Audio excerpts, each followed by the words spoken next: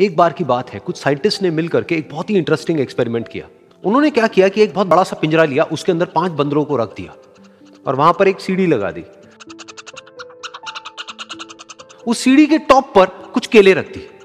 फिर उन साइंटिस्ट ने क्या किया कि जैसे ही कोई भी बंदर उस सीढ़ी पर चढ़ता केलों तक पहुँचने के लिए तो ऊपर से ठंडे पानी की बारिश करने लग जाता। तो जैसे ही वो ठंडा पानी गिरता, उस बंदर के ऊपर जो कि सीढ़ी पर चढ़ रहा था, वो फटाफट से नीचे आता तो पानी बंद हो जाता। फिर दोबारा से कोई और बंदर उस सीढ़ी पर चढ़ता उन केलों तक पहुँचने के लिए? दोबारा से यही होता। दोबारा से ऊपर से ठंडे पानी की बारिश होती, वो बंदर जैसे ही नीचे आता, दोबारा से बारिश बंद हो जाती। तो बंदरों ने इसका मतलब यह निकाला कि जैसे ही कोई भी सीढ़ी पर चढ़ता है तो ऊपर से ठंडा पानी गिरता है।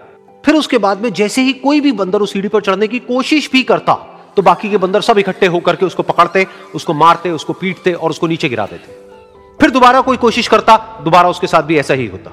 फिर उन साइंटिस्ट ने क्या किया कि उन पाँच बंदरों में से एक बंदर को उस पिंजरे में से निकाला और उसकी जगह एक नए बंदर को उस पिंजरे के अंदर डाल दिया। अब उस बंदर को नहीं पता था कि यहाँ पर क्या खेल चल रहा है।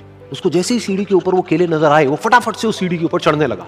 अब की बार साइंटिस्ट ने कोई बारिश नहीं करी, लेकिन फिर भी जो बाकी के बंदर थे, उन्होंने इसको पकड़ा, सीढ़ी से नीचे उतारा और मारने पीटने लग गए। इस बंदर को समझ नहीं आया कि मेरे को क्यों मारा जा रहा है तो उसने दोबारा कोशिश करी। जैसी उसने दोबारा कोशिश करी दोबारा से उन चार बंदरों ने वही किया। तो अब इस नए बंदर के दिमाग में क्या बैठ गया कि सीढ़ी पर चढ़ना मना है। अगर सीढ़ी पर चढ़ते हैं तो मार पड़ती है। उस सीढ़ी पर चढ़ना क्यों मना है और क्यों मार पड़ती है, वो उसको नहीं पता था।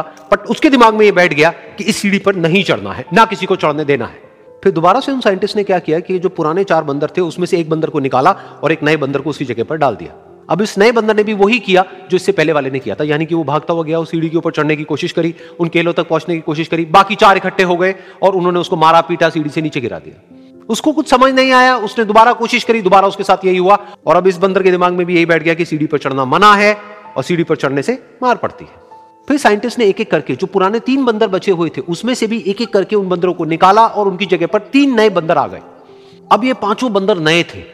और किसी को भी यह नहीं पता था कि उस सीढ़ी पर चढ़ना मना क्यों है, लेकिन उन सबके दिमाग में बैठा हुआ था कि सीढ़ी पर चढ़ने से मार पड़ती है। तो कोई भी कोशिश नहीं कर रहा था, जबकि अब कोई ठंडे पानी की बारिश भी नहीं हो रही थी। वो चाहते तो आराम से उस सीढ़ी पर चढ़ते, केले तोड़ते और आपस में बांट करके खा लेते। बिल्कुल ऐसा ही हम लोगों के साथ भी होता है, यानी कि इंसानों के साथ भी होता है। हज़ारों साल पहले कोई प्रथा बनी होती है, कोई रीति रिवाज होता है, जिसके पीछे कोई ना कोई वजह होती है, लेकिन वो वजह खत्म होने के बाद भी वो प्रथा चलती रहती है। वो रीति रिवाज चलते ही रहते हैं। किसी में इतनी हिम्मत नहीं होती है ये पूछने की कि हम क्या कर रहे हैं, क्यों कर रहे हैं। बस सबको ये पता होता है कि ऐसा ही होता है।